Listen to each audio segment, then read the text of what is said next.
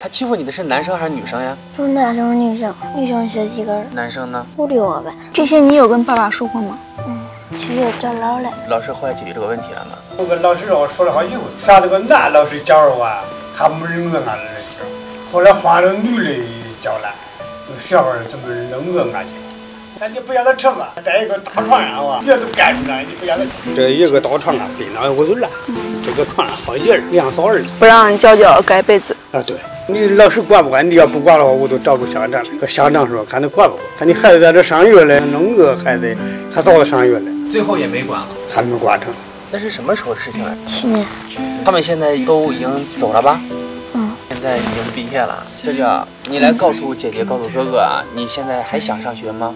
没事，有什么事情的话，哥哥可以帮你撑腰。嗯，不用担心啊。你现在想复读吗？重新开始，初三，再上一年，然后重新再考高一。